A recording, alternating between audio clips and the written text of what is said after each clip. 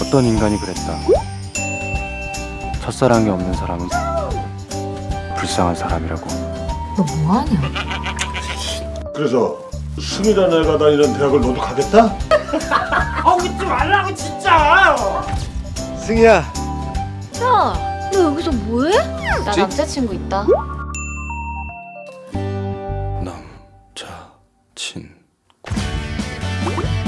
앞으로 자기 앞에 얼씬